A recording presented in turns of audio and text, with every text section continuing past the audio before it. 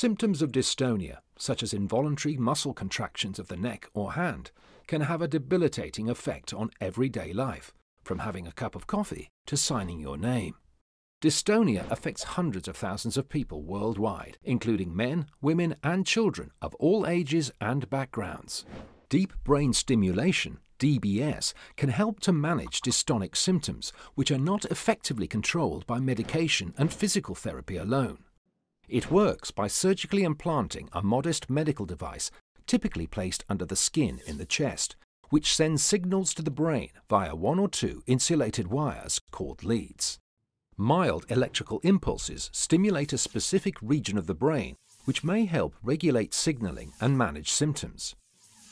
A deep brain stimulator is a battery powered device that may last 3 to 5 years for a non rechargeable version and up to 25 years for a rechargeable version. The non rechargeable device can involve multiple battery replacement surgeries compared to the 25 year version.